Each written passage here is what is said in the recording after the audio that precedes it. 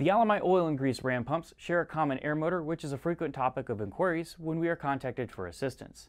Today's video will walk you through the process of servicing the ram air motor. As an additional note, anyone with the oil or grease units running the previous PML air motor may use this process to upgrade to the current RAM air motor. The main culprits causing failure of these units is moisture and debris from the air system. To combat this, we recommend installing a filter regulator unit to help block moisture and debris from entering the air motor. We do not recommend using an inline lubricator as these units have an extended life lubricant used to maintain the internal seals of the air motor. Typical symptoms to look for are erratic cycling, air leak when pump is stalled, and failure to cycle conditions. The repair process begins with disconnecting the air supply to the pump assembly and bleeding down both the air and lubricant pressure. Loosen and remove the tie rod nuts so the four keepers holding the air motor to the pump outlet body can be rotated out of the keeper groove. Reinstall the nuts to hold the motor assembly together for the removal step, which we will do now. You may have to twist the assembly at the same time as pulling up on the motor assembly. With the head assembly removed, you can choose one of two options. First is a straight air motor replacement. This is a good practice if your facility has multiple units. You can have one or two air motors on standby along with new quad rings and inner piston seals. Replace the piston quad ring and ring on the pump body, perform a quick swap of the motor and rebuild the motor for reuse later. Second option is to go ahead and rebuild the motor, which we will get to in a moment. Now rarely does the piston break, but still remove and examine for cracks should the unit have cavitated at any point during operation.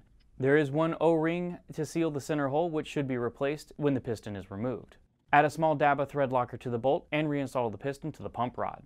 Before reinstalling the motor, replace the large outlet body O-ring.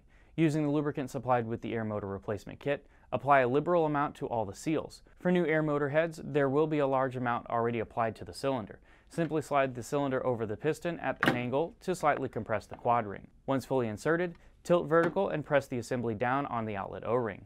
Bottom ridge of the bottom cap should align with the keeper slot of the outlet body. At this stage, remove the nuts from the tie rods one at a time and install the keepers, then tighten down the nuts hand tight for now. Align the air motor with your air supply, then torque the nuts to between 60 and 70 inch-pounds. To rebuild the RAM air motor, completely disassemble the air motor.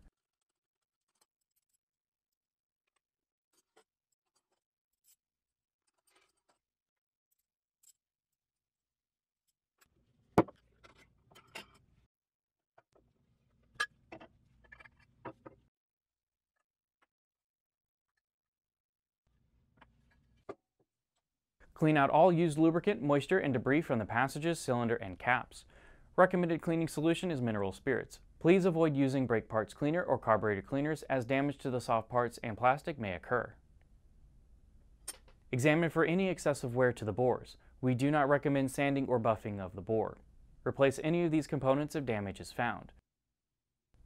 The air valve spool can be further disassembled, cleaned, and lubricated. If the air system has a particularly high moisture or debris content, Creating a cleaning and lubrication schedule will help these motors last a significant amount of time.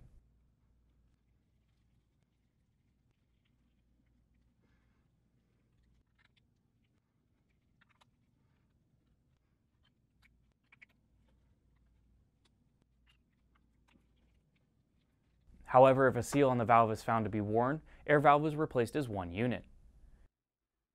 After all components are cleaned, it is time to reassemble. Split the air valve spool into components as shown. It will not matter the direction this is installed. Slide the first half into one side of the spool cylinder, then repeat the operation for the other side, firmly pressing the exhaust adapters flush with the cylinder head. The end caps have a tri-port gasket to install. Be sure to liberally lubricate prior to installation. This will aid in securing the gasket in place during assembly. The top cap has an additional O-ring to place in the groove.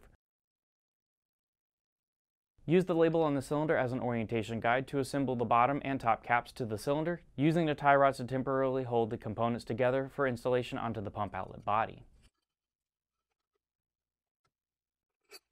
Be sure not to allow any of the seals to dislodge from their placements or an air leak will occur.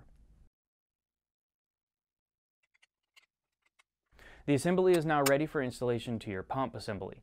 Simply follow the steps shown previously to attach and lock down the air motor to your pump assembly. Let's test the newly rebuilt or installed motor. A brief jolt of around 100 psi air pressure may be needed to assist in aligning the spool to get the air piston moving. Once it begins the cycle, shut off air, reduce pressure to desired setting for your system, and run again to make sure the unit primes and dispenses fluid. Let the pump stall and listen for air leaks. If there are no leaks detected, pump is now ready to return to service. Thanks for watching. If you need any additional assistance, feel free to contact our technical support staff or area Alemite representatives. We are expanding our tips and how-to material. If there is a question to answer or a process you'd like to see from us, leave a note in the comments. I am John with the technical support staff. Thanks for watching, and we'll see you next time.